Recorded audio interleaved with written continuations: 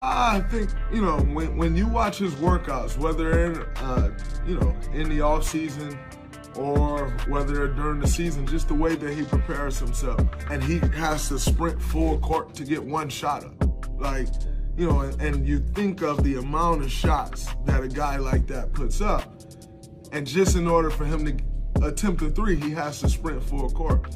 Like you know, he works like unlike many people that I've seen before and you know it, it, translates onto the court. And then i think you know once you once you realize i've had success in doing things this way then you become more of that. You know like this is what's going to allow me to unlock x. Ball movement and and his personal player movement and how much he's moving off the ball it's a real disadvantage to teams. When you think of most superstars in this league most of their, their damage is done with the ball in their hands Whereas opposed to Steph Curry, can he do damage with the balls ball in his hands? Absolutely. But he's equally, if not even more dangerous when the ball isn't in his hands.